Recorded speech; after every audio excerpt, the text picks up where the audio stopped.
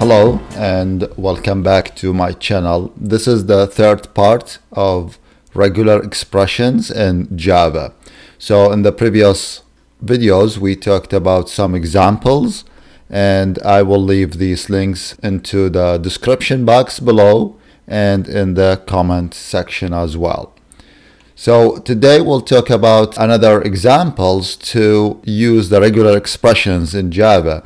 And today we'll talk about the date of birth validation. So we'll validate the date of birth if the user entered any input. If we want to validate the date of birth of a user, uh, so we can use the regular expression to validate the input. So let's say that we have this date we'll start by the year and then by the month followed by the the day. So here we have these numbers and now we want to use the matches method that will help us to find a pattern in this input.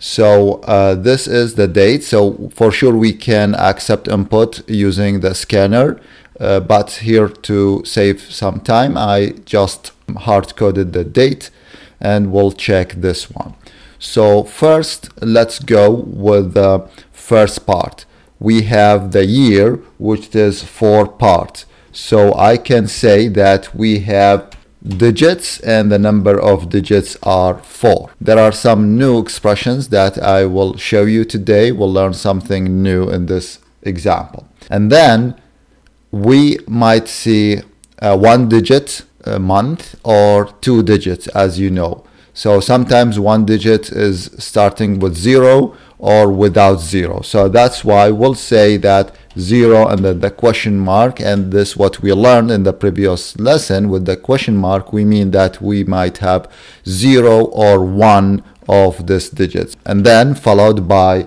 a digit and the digit I will limit that to 9 okay? So that means that we either have um, 0 and then followed by these numbers 1 to 9 so how about month uh, number 10 or 11 and 12 this is what I am going to show you. Here I will say or you see that?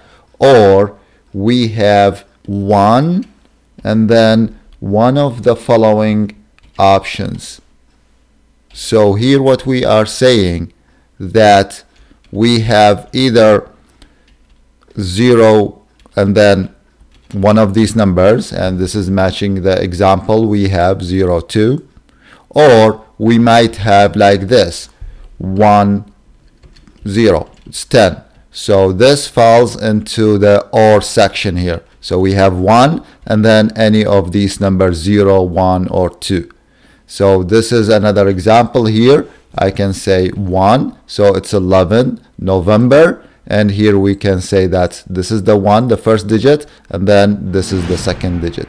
So by this we are limiting the numbers to up to uh, December 12 and will not exceed that thing. So this is the thing. So we can go with digit but you know the digit will be unlimited and we can go for numbers exceeding the numbers of months that we have so that's why so uh, for more clarity and to make it more precise, we can do some brackets here to show you the things.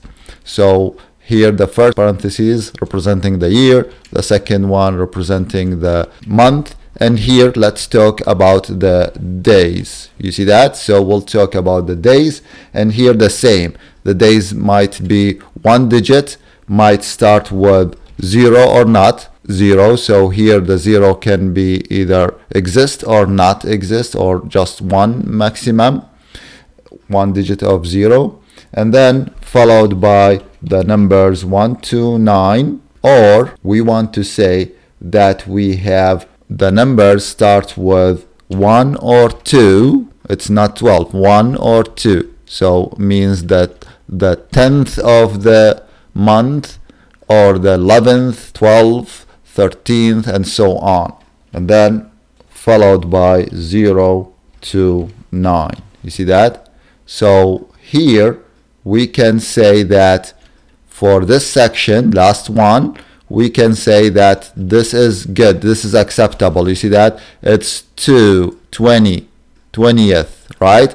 So 2 and then 0. So here matching this 2 and then one of these digits, which is 0. We can take another example. Let's say 1, which is 10th, the 10th here. This is the 1 the 10th and these are the ones which is 0 as well. Or we can go back to 0 1 which is here the digit 0 no zeros or 1 0 at most and then any digits between 1 and 9 so this can be like this as well. This is acceptable right? Because we can do 0 with or without 0 both will be acceptable. Okay? Now how about this one? Some months are like this the 30th so we didn't include this yet so I will add one more thing. Or you see that? This column represents or and here we can say it's either 3 and followed by either 0 or 1 you see that 0 or 1 so either 30th or 31st good? So let's try this one and we'll bring more expressions. So look at this. This is true. See that? So let's say that we have here 0 1 it's true as well. Let's say we have just one digit for the day. It's true. You see that so it's uh, up to us. So this is telling we can use or not the zero. We can use the zero or without the zero. Okay?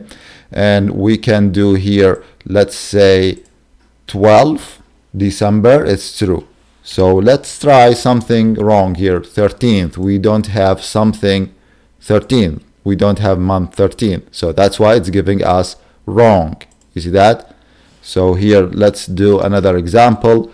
Here 21 21 no such month. False right? So these are the things. So this is an example of um, regular expressions and to validate the birthday or any date you want. So uh, I hope you learned something new in this video. Do not forget to subscribe to receive more of these videos. So thank you and we'll leave you with those videos to watch more. Thank you and goodbye.